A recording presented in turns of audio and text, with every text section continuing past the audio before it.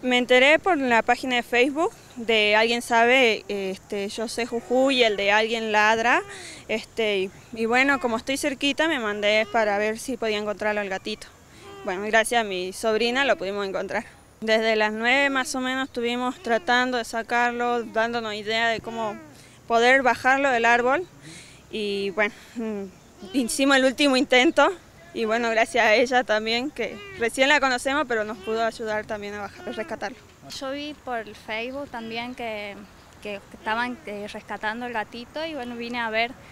Em, y bueno, justo me asomé y, y, el señor que estaba con ella, bueno, me dijo, ¿te animas a subirte? Y bueno, sí, porque era muy alto, estaba muy alto y, y por suerte lo pudimos sacar, que es lo importante. ¿Y ahora qué nombre le van a poner?